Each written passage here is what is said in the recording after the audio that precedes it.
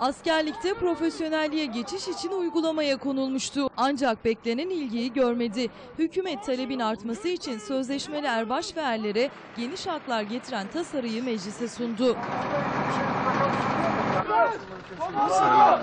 Tasarıya göre sözleşmeli erbaş ve er olarak en az 7 hizmet yılını doldurarak ayrılanlardan nitelik belgesi olumlu olanlar ilgili mevzuatlardaki şartları taşımaları kaydıyla kamu kurum ve kuruluşlarının boş kadro ve pozisyonlarına atanabilecek. Her sözleşme tarihinden önce sözleşmeli er ve erbaşların sözleşmeyi yenileyeceklerine dair yazılı bildirimde bulunmaları gerekecek. Aksi takdirde sözleşme kendiliğinden süresi dolduğunda sona erecek.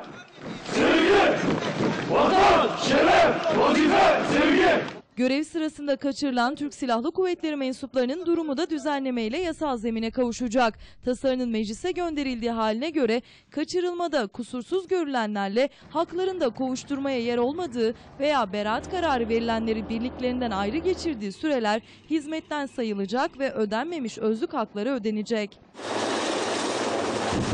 Terörle mücadele sırasında veya bu görevlerinden dolayı alıkonulan ya da kaybolanların sözleşme süreleri ise akıbetleri açıklığa kavuşturulana kadar Genelkurmay Başkanı'nın onayıyla uzatılabilecek. Ancak kanunda belirtilen yaş haddini geçmemek koşulu aranacak.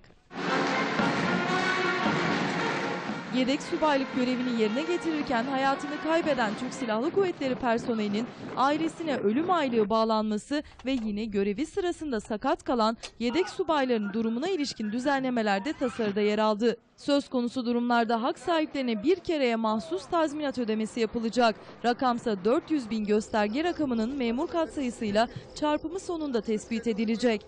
Ancak olayların gerçekleştiği tarihte bakaya, firar, izin tecavüzü, hava değişimi tecavüzünde bulunanlarla kendini askerliğe yaramayacak hale getirenler bu haklardan yararlanamayacak. Aynı durum ölümle sonuçlanması durumunda da geçerli olacak.